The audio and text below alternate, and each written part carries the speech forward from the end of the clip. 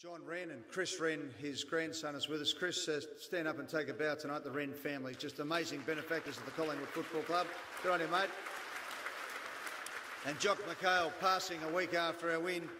And uh, Stephen, I know you're about to ask Ronnie some questions, but it's uh, understood that uh, the, on the Thursday night before the 1953 grand final, the coach was Phonse Kyne, but uh, Fonts was late coming in for the meeting, and it was actually uh, Jock McHale who put Ronnie on the wing and demanded that he play there, put the name up, walked out the door, and that was it. And Ronnie was on the wing and was best on ground.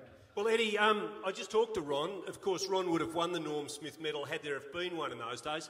Uh, Ronnie, after your best on ground performance, John Wren came in. Did he give you the big handful of notes? No, miss me. Damn. I was a little guy. I was a little guy, so when he come in with a handful of notes, he couldn't find me. he didn't get it. Where'd you go after the game? I know these days you would have come back here to the Palladium room at Crown and Collingwood would have, would have had 1,800 people here. What did you do after the game?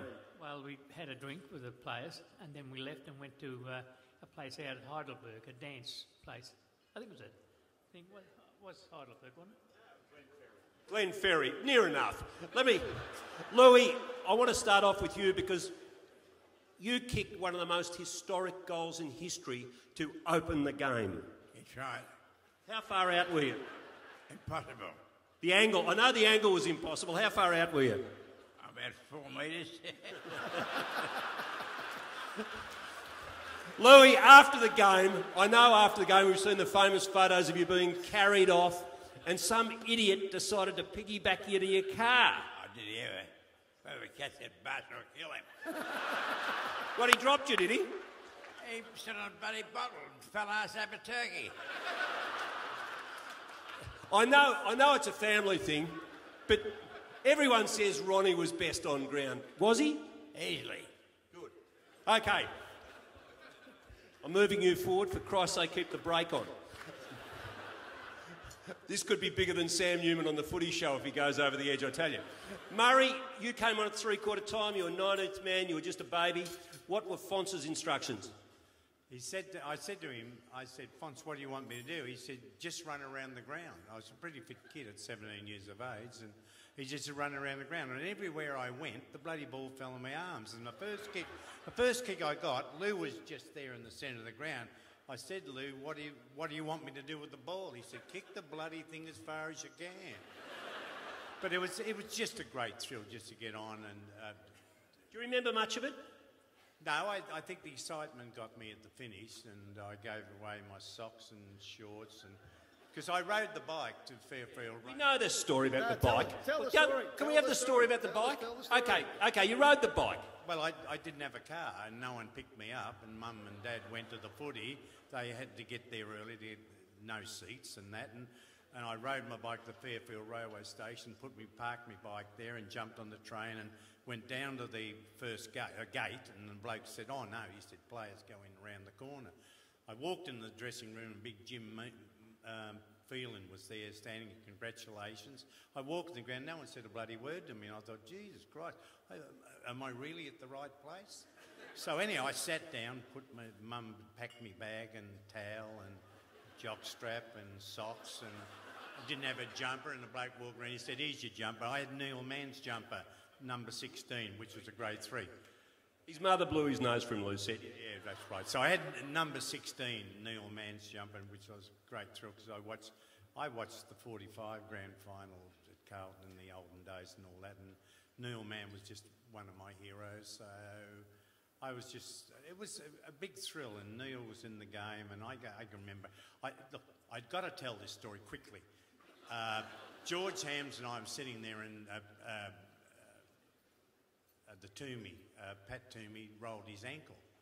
And of course, I'm a half forward flanker or a centre half forward, and Kyne and uh, Gordon Hocking and the, and the selectors looked down and said, Hams, you're on. I said, This is not fair. He's a back pocket player. And, you know, I'm 17 I thought, Jesus, that, that's, no, you've got to change this. You can't do that anyhow. But that's just one of the stories of Murray, uh, I know we could go on with this for a moment. Tell us about the Sheila in the forward pocket. Well, I had no one to take to the function that night. Did you take her? Yeah, of course. What was she like? she's good. I, Okay, enough. Okay. Brian Taylor would have asked a more embarrassing question. Arthur the butcher.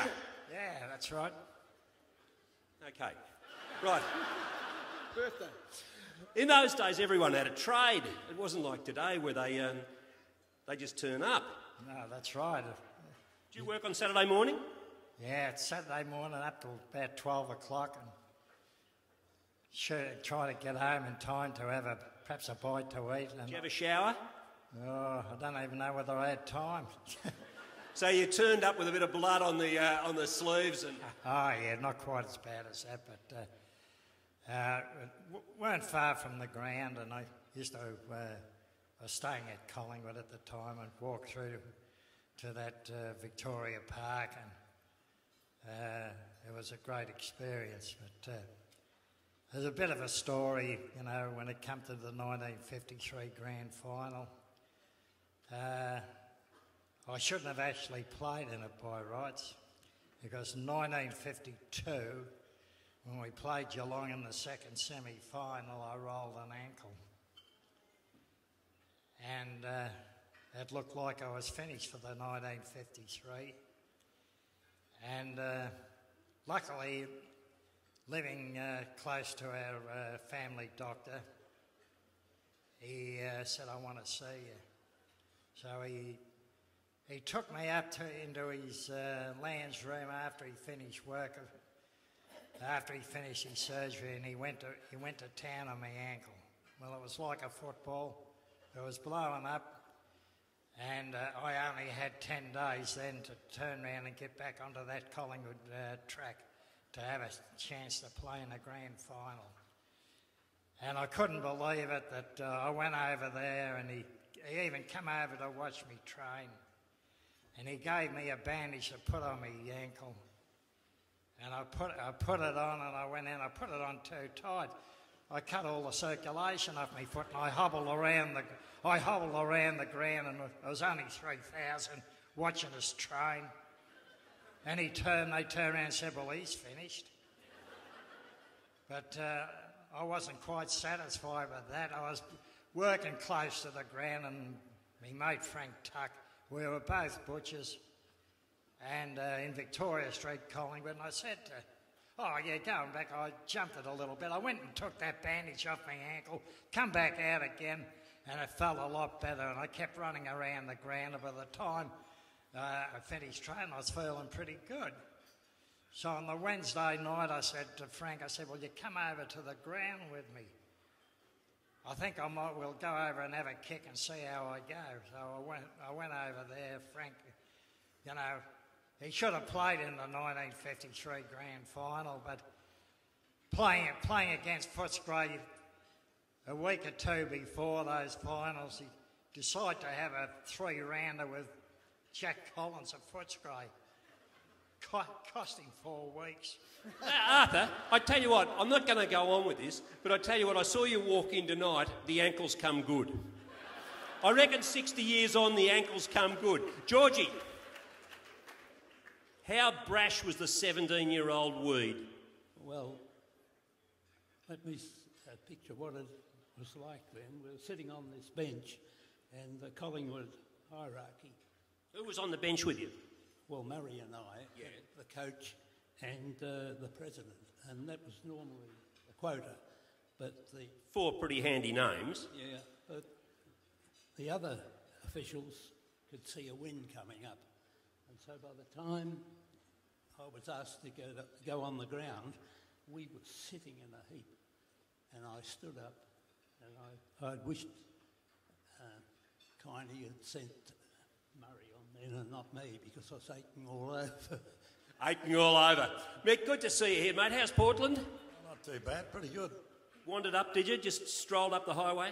Yeah, I drove down here. uh, Five hours these days. It used to be Used to be three and a half. That was before they put those speed traps in. Um, family name, some famous family names: the Roses, the Richards, Panhams, the Twomeys are right up there with the very best. Oh, it's very good of you to say that. There. Well, it's, it's history. Oh, fair enough. Yeah. I'm, I'm not a very uh, talkative man these days. Well, that's okay. There's no one, they're all listening out there. You've just a couple of pearls of wisdom, and, uh, and we'll go on with the next course. But it was good playing with the boys in that, in that match. Ah, yes, I think the 50s, I was very fortunate to play all the 50s, and uh, it's a marvellous thing that the, the players of that era, or my era, the 50s, they're still all friends, you know, so we, we all got on pretty well together, and And nine of you still around. That's not bad, is it? We're getting on a bit, but Well, you look around here, I reckon they look all right, Mick. There's, there's only two wheelchairs and, uh, and four of you have got a bit of a limp up. But this guy here looks as though he could play tomorrow. Thorold, it is wonderful to see you. I remember watching you on Channel 2 for year after year. I used to appreciate your comments. You've got a great knowledge and love of the game. Paolo, I was very fortunate to be kept in the game for as long as 15 years with the ABC, 11 as a player, and then uh, six years on the board at Collingwood. And then Eddie has the temerity to ask me to be on the Hall of Fame committee with, with Kevin Rose and kept me going for 50 years in the club. Kevin, I saw Kevin down here before. You guys will both be in this. No worry about that. Do you vote for me and I'll vote for you? Ooh, and how? Just finally, before we go back to Ed, a concise, clear memory of the game. Beating Geelong, they'd won two in a row. They were red hot favourites. Um, just the thrill of it all.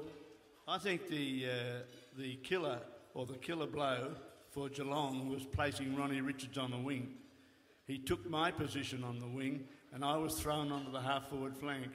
And uh, Phonse said to me, and probably to other players as well, just keep running, run all over the ground. You've got a roving commission. Well, I was buggered at the finish.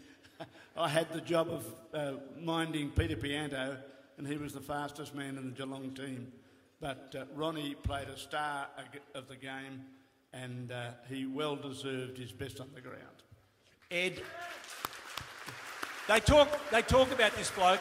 They said when he came from Cobden, he could stab past a pellet of wheat up a, a chook's bum from 25 metres and not ruffle one feather. That's exactly right. There's one word you made an error in then.